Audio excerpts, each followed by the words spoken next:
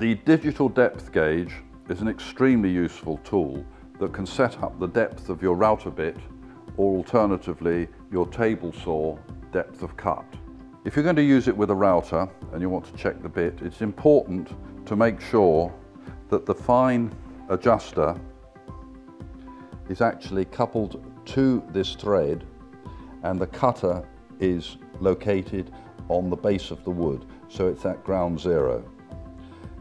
If I lift it slightly, you will see that the router is now rocking.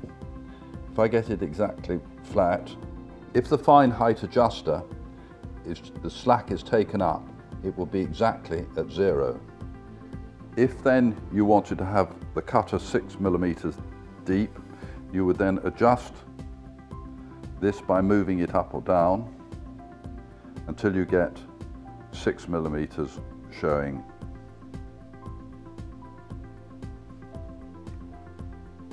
on the depth gauge.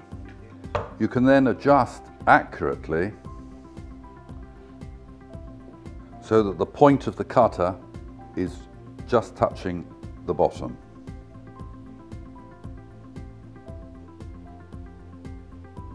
That will then be six millimeters deep.